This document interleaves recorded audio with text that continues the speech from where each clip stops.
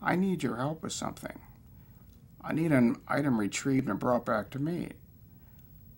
I need someone I can trust and who's reliable. And I'm willing to pay a lot of money for this. So, can you help me out with this? Can we work this out?